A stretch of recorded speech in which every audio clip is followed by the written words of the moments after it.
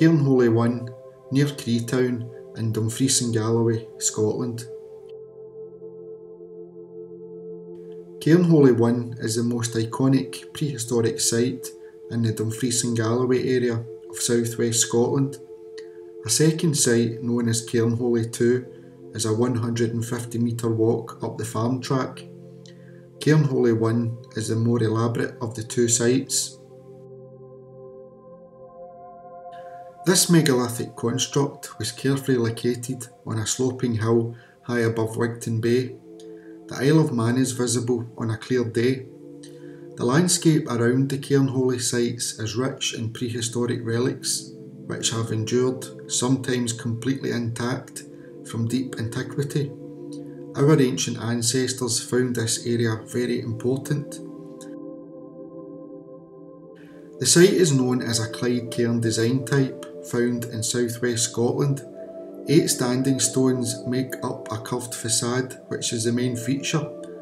An aerial view of the site is reminiscent of a bird with the upright stones resembling the wings, the body being the inner chambers, and the recumbent forecourt stone as the head.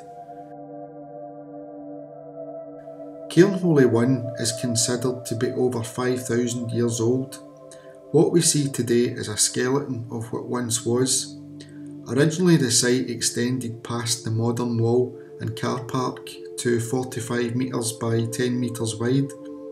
The material that made up the cairn mass would have been used for building material and field walls. Sparse remnants of this cairn can still be seen.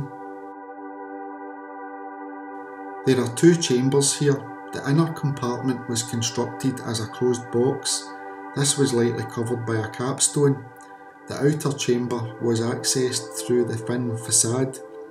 Inside the cairn, two slabs that make up the burial chamber have rock art. The two chambers are orientated roughly east-west, which may suggest a spring and autumn equinox function. This is the day where night and day are of equal balance. This key time of the year was likely very important to our ancient ancestors. Terence Powell and Stuart Piggott, both archaeologists, excavated the site in 1949. A very interesting find was part of a green jadeite ceremonial axe.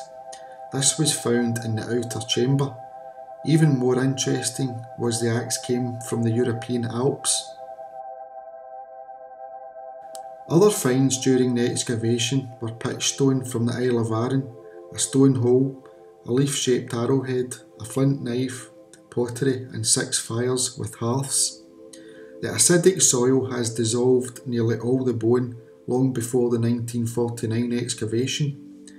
The National Museum of Edinburgh holds a rock carved spiral design from Cairnholy 1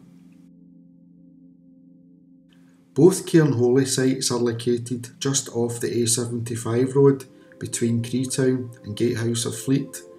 The site is in the care of Historic Environment Scotland and is well signposted from the main road. No doubt Cairnholy holds many secrets waiting to be discovered.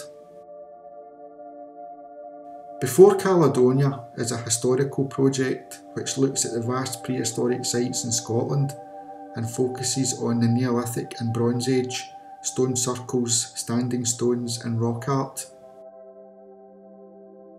Please consider becoming a Patreon for exclusive benefits while supporting my work, thanks to my current Patreons. Join Before Caledonia on Facebook. Thanks for watching, and a huge thanks to our ancient ancestors.